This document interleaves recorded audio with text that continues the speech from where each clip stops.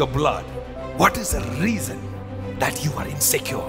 I want you to take it to the Lord and say, Lord, whatever sins of my father, my fathers, my great grandfathers, generational sins, it shall have no effect on me in the name of Spirit of rebellion shall not be in my house in the name of Jesus. We are starting fresh with me, my house, my family. We are starting fresh.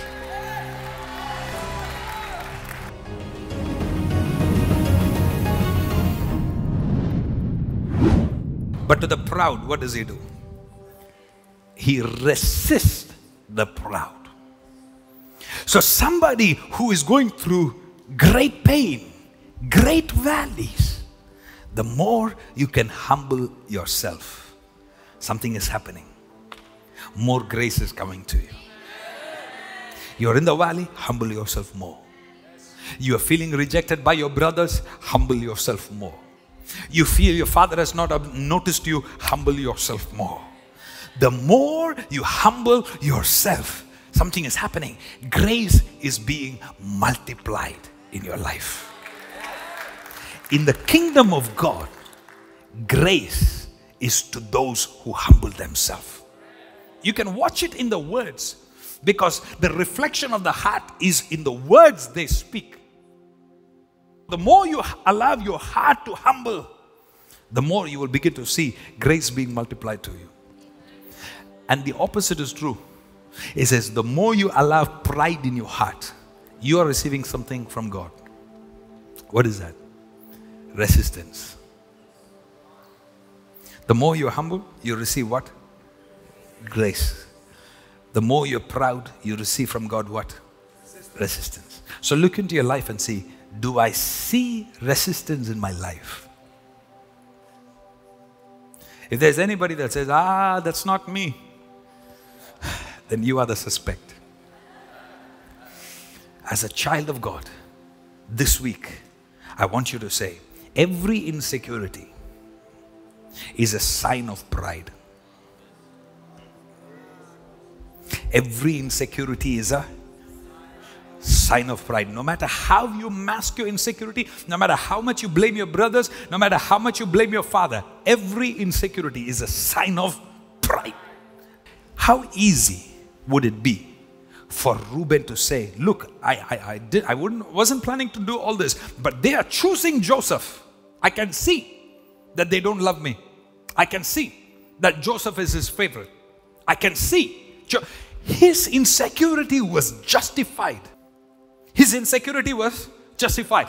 Absalom's rebellion was justified. That is why a great group of people followed Absalom. They said, Yay, I'm on Absalom team.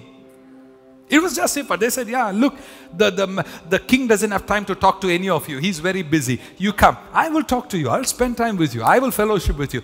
Look out. But there are some people like Elisha's with understanding that will say, Lord, I'm not here for a blessing, I'm here for the blesser. Don't leave me with this mantle and take away your presence from me. Hey, my goodness, my goodness. That means you can be left with the mantle. And the owner of the mantle is nowhere near. I want you to say, God, don't let my insecurities eat me up. Don't let my insecurities eat me up. Can I show you something very profound and then I pray and close? If there was anybody that was supposed to have insecurities,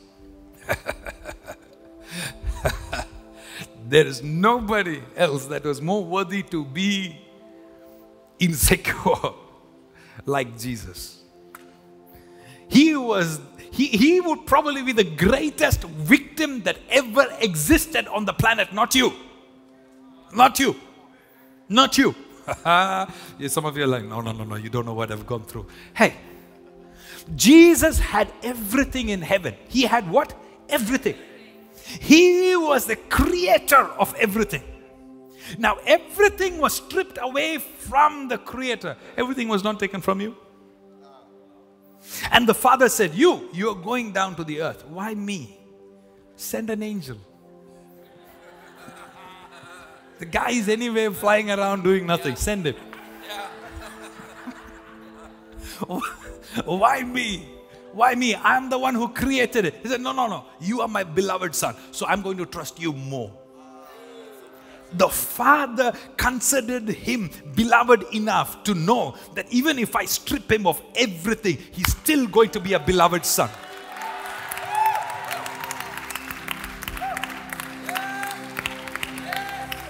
How about us as a child of God? We, we are, a, a car tire got flat. And you're already questioning God, do you really love me? A flat tire has caused you to question the goodness of God. A smallest issue. Jesus was stripped of everything and then he was sent to earth as a human, as a man. The, the man that he created, he said, Now you have to go down like that. And then he said, Okay, no problem. I, I shall do it with joy. My father, I shall go. I said, Oh, by the way, son, sorry, I couldn't find you a good hotel.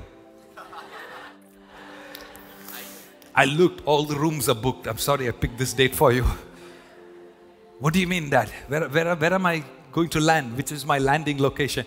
I, I found a manger.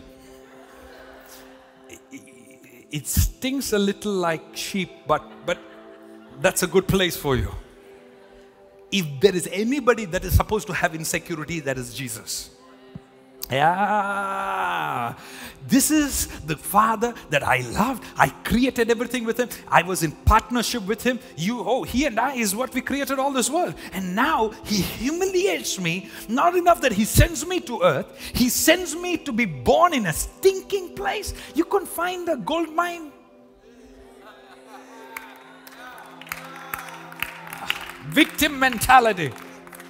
Jesus built the whole thing together with the Father, but at moment's notice, he was ready to leave everything behind and go down. Ah, you're too quiet this morning. Listen, he goes to school just to find out that the kids have a rumor about his father. Talk about victim. Do you know? They don't think that Joseph is his real father.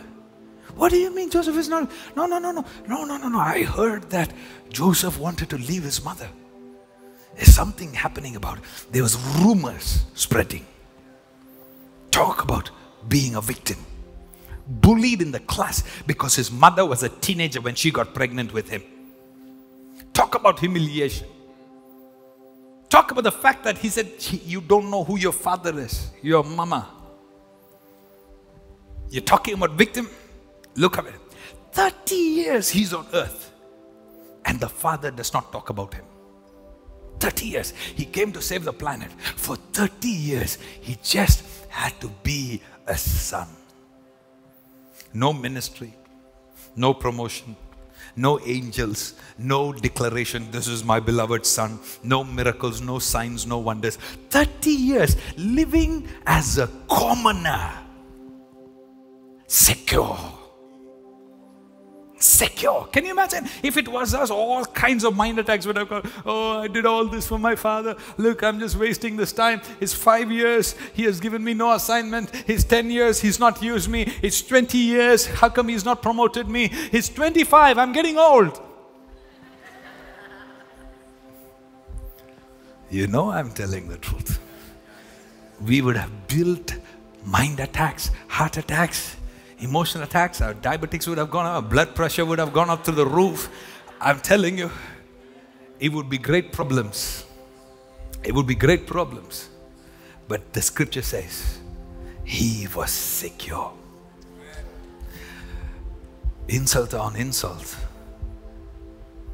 There was no greater insult when he said, You have to now carry the sins of the earth. Lord, but I didn't do it, and yet I get blamed for it. You see, all the, all the marital fights, but I didn't do it. But she's saying, You did it. No, I did. You did it. I did. Ah. All the sins of the world was carried by whom? Did he commit the sin? But yet the blame was whom? The blame was on him. The sin was on him. Yet he stretched his hands and said, Father, into your hands I commit my spirit. Secure.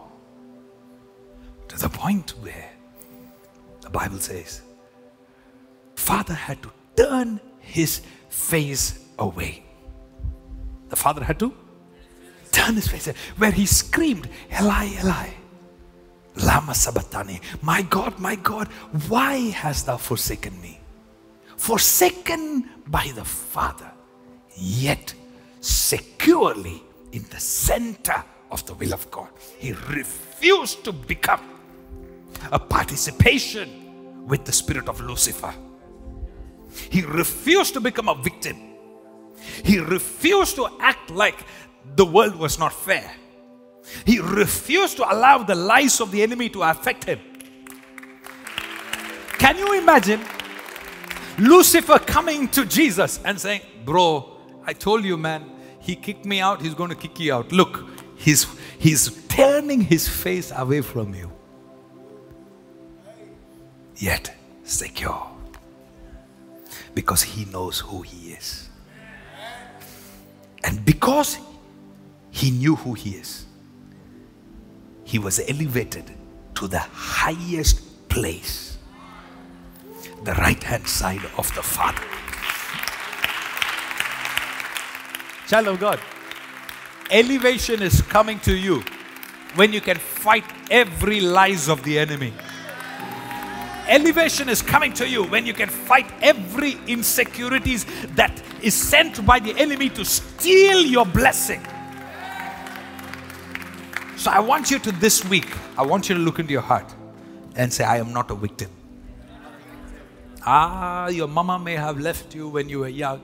Your father may have rejected you when you were young. It does not matter. You are still loved by Jesus. It does not matter who has hurt you. It does not matter if the spirit of the accuser is accusing you. You are rooted in Christ. That's why the Bible says he was like a lamb unto slaughter, would not open his mouth, stayed calm because he knows who he is. What we want is the favor of God. And God cannot give us that favor if He finds us shaky. He looks at Reuben and says, You shall become unstable as the water. The rest of the history records out of the tribe of Reuben, there was no doctors, there were no great engineers, there were no prophets, there were no judges. Nobody of preeminence was ever recorded in the tribe of Reuben. In fact, when that rebellion happened during the time of Moses, they were a group of a tribe, sons, that was the children of Reuben. Years later, decades later, the spirit of rebellion kept manifesting in that blood, in that tribe, in that generation after generation, where years later, decades later, the earth swallowed them up. So you have to wonder what was the blessing of Jacob or the curse of Jacob? What was he saying? You shall have no preeminence, you shall be like water. Throw water on the ground. What does the ground do? Swallow it. What happened to his children? The ground swallowed him. Because you, you ask the children, it's like, why? I don't understand why there is rebellion in me. Somewhere in my blood, there was somebody that wanted to take that which was not yours. Even now, the blood is fighting me. Even now, the blood is making me rebel. Even now, this blood is making me want to take things by force. Even now, my blood is not allowing me to shut my mouth. Even now, my blood is not allowing me to be humble. Look into your blood. What is the reason that you are insecure?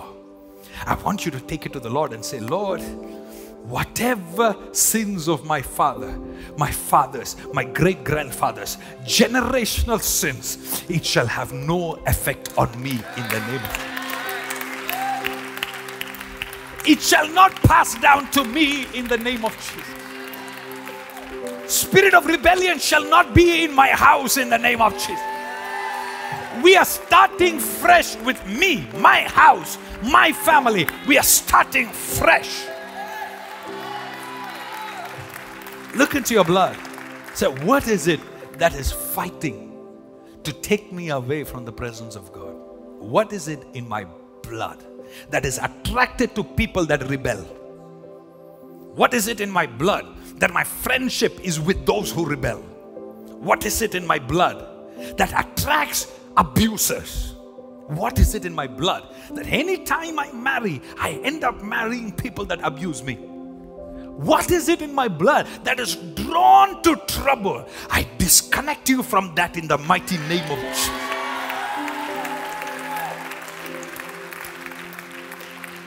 Listen, if the blessing of Jacob began a trajectory in the life of Reuben that they could not turn away, I want you to know there is a blessing in Jacob that comes from his spirit, Israel, that can turn the trajectory of evil. So, this may not be for everybody, but if you can recognize the work that God is doing from here, I'm going to say a prayer.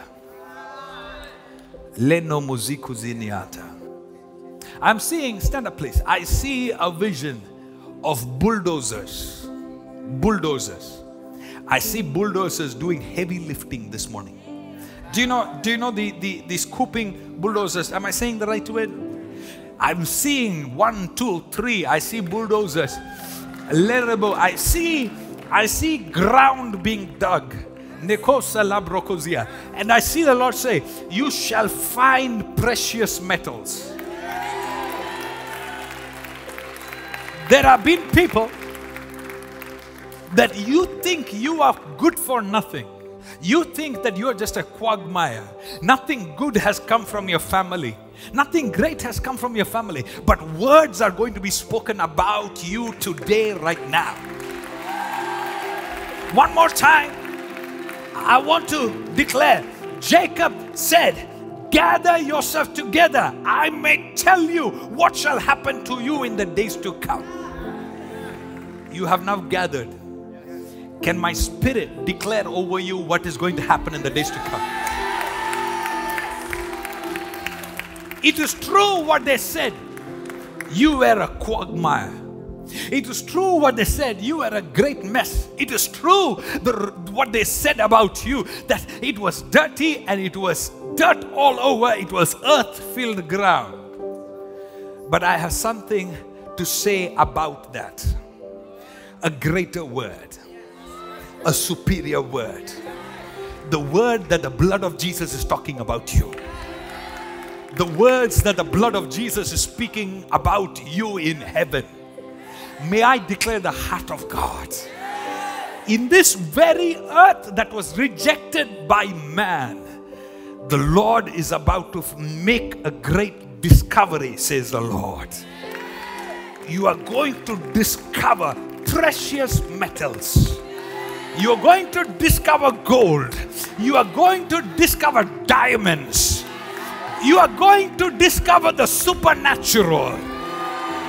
They said nothing good shall come out of you, but you are going to prove them wrong in the mighty name of Jesus. I want to declare this over you. When the whole family said, Nothing good shall come out of you, the Lord will make them see that you are a wonder.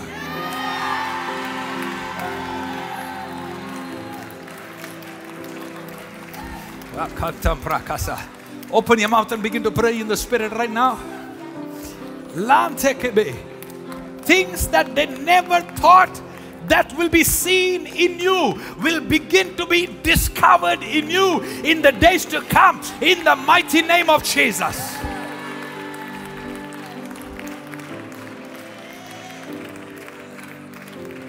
Something is happening right now. In your home, something is happening. Whatever demon influenced your cousin, includes, in, influenced your aunt, your uncle, to speak words of negativity, that this one is dumb, this one nothing good shall come. The same person shall look at you and confess that they were wrong about you that they are discovering wonders about you in the mighty name of Jesus.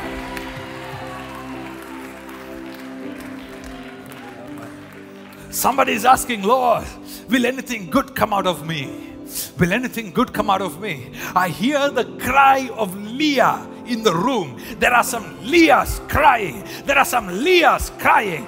Will I be loved? Will anything good come out of me? Will I get the heart of my husband? Hadamana Sakata Baraga. The Spirit of the Lord did not bring you here to just hear a sermon and go back. The Spirit of the Lord brought you here so that you might discover that there is greatness shut inside of you. Mandoko zeketeke. Rande breke. Whatever the enemy lied to you, every insecurity that the enemy lied to you, I break it in the mighty name of Jesus. Every lies that you grew up with, today I tear it apart in the mighty name of Jesus. Whatever lie you believe from your own father and mother, I tear it apart in the mighty name. Somebody shout Jesus as loud as you can.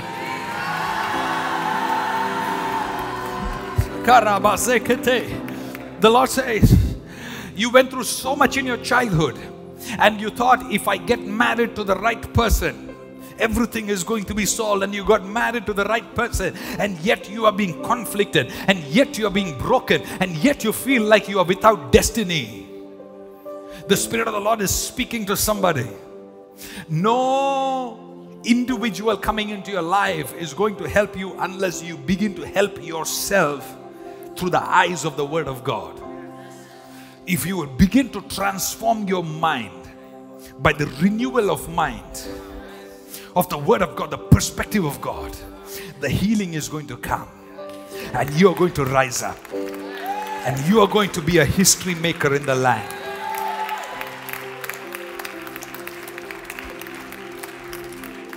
Child of God, I want you to know you are connected to a high live wire in this place. That you can be secure again. I want to declare you are good looking.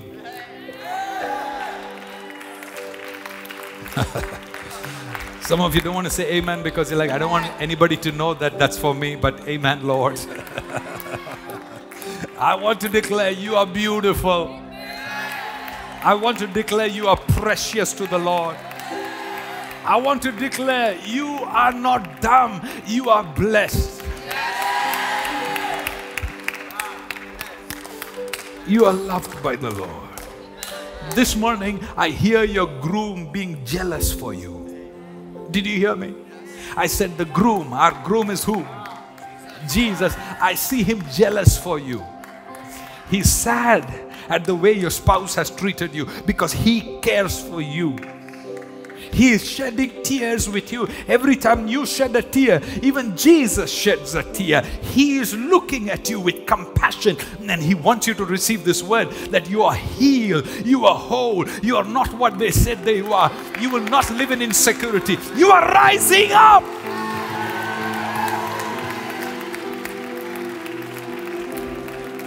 The next two and a half, three years, your trajectory is changing to the point where those that said nothing good will come out of you is coming back to you. And I want to let you know that the Lion of Judah is declaring something to you right now. The time is coming, Joseph, that those that chased you away are the ones that will come to your door and you will be in charge, responsible of feeding them.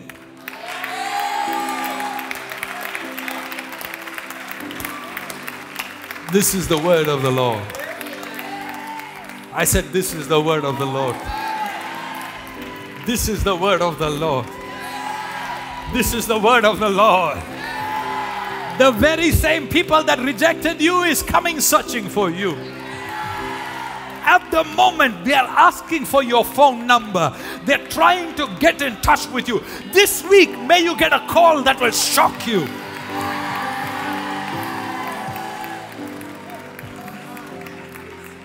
Hey, my God is good. Oh, I hear that in the spirit. Because you are going to declare, My God is good. I want you to open your mouth and say, I am not hurt. I am not bitter. I have no unforgiveness. I don't care what they're doing. I am blessed. I am free. I am more loved than I am hated. Woo! Ah! Some of you need to confess it and break every lie in your heart. I want you to say it out loud. Turn to your neighbor and tell them, I am more loved than I'm hated. Come on, tell them. Tell them. Tell one more person. Tell one more person. Find another person. Come on, quickly. Quickly. Oh, ta ta ta. Let every lie break, break, break, break, break, break, break, break.